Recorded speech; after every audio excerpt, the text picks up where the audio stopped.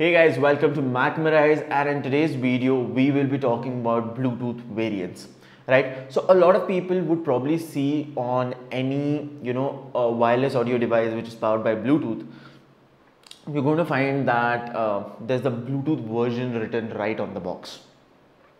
Now what does this version signify? How have these versions gone from 1 to 5 what are the differences between the various versions and how do they affect you First and foremost, if you're new to the channel, make sure that you subscribe to the channel. Give us a thumbs up if you like the video. Now, let's start with the basic first. There are two major variants available today for Bluetooth. One is the Bluetooth Classic and the other one is Bluetooth Low Energy.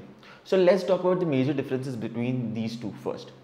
The Bluetooth Classic variant is basically what you use for your mainstream transfer of data, right? Let me make this very clear for you. Your phone is using Bluetooth Classic and not Bluetooth Low Energy. The devices like smartwatches and smart bands connecting to it are using Bluetooth Low Energy. So what are the benefits of so what are the benefits of using Bluetooth Low Energy compared to using Bluetooth Classic? Firstly, Bluetooth Low Energy has increased range. That's right, and I'll tell you why. The data transfer speeds are extremely slow with Bluetooth Low Energy as a Bluetooth low energy device is expected to transfer really really small amounts of data. So here the data transfer speeds are below 1 Mbps. That is why most of your headphones are not using Bluetooth low energy because the transfer of songs in real time cannot take place at that data transfer rate.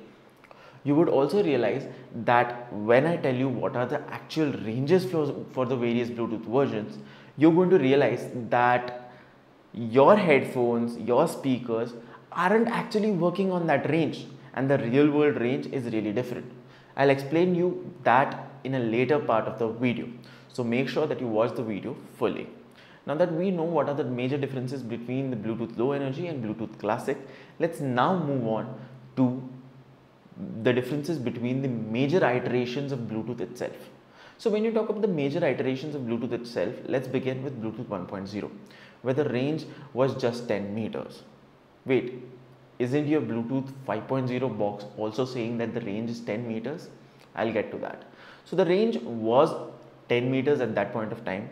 The data transfer speeds were below 1 Mbps and Bluetooth connection was really really inefficient energy wise.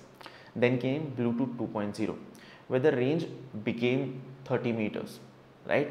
Now, with the range becoming 30 meters, a lot of things started changing.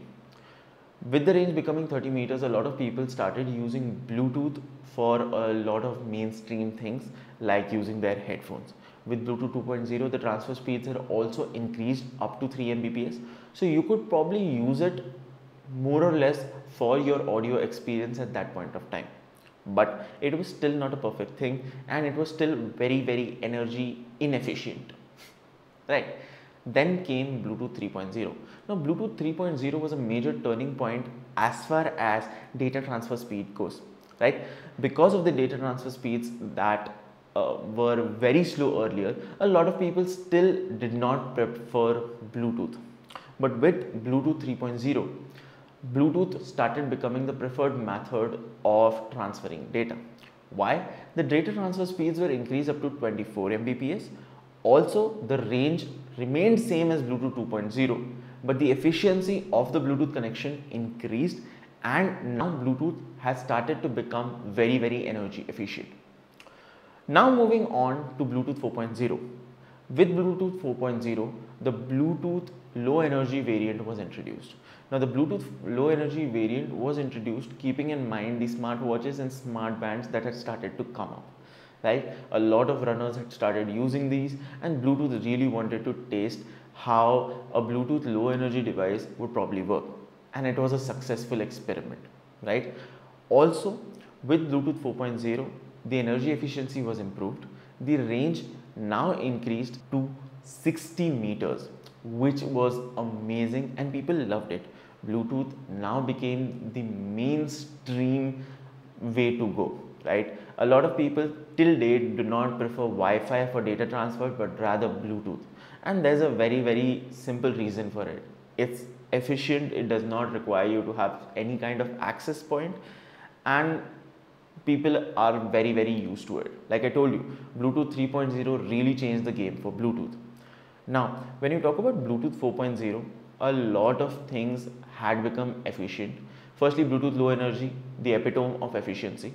Then the data transfer speeds were actually getting 24 mbps. Moreover with bluetooth 4.0 moreover the bluetooth low energy variant was introduced with bluetooth 4.0 so yes, Bluetooth's major, major concern here was energy efficiency and Bluetooth 4.0 achieved peak energy efficiency, right? So here is the time where Bluetooth started becoming the go-to choice. The Bluetooth 4.0 version started becoming the go-to choice for every major company because of the energy efficiency. After this came Bluetooth 5.0 and this is where the whole focus shifted from energy efficiency to ensuring that the range is really really high. And the range had finally increased to 240 meters which was really a lot. Now a lot of you must be wondering how do your bluetooth 5.0 headphones still say 10 meters? Now there are certain there are certain number of things that you need to consider before you start feeling bad Firstly, this range is not a real world range. This range is lab testing, open skies, clear pathways, right? If there's a li direct line of sight and nothing, nothing at all to disturb the connection, you would probably get this range. But the real world is really different. There's a lot of things that happen. There are a lot of conflicting radio waves that are being used by various electronics items in your home. That is why the actual effective range still remains 10 meters. And most of you would be already aware that with the increase in distance between two devices, the data transfer speeds start to drop, the connection starts to be not that reliable.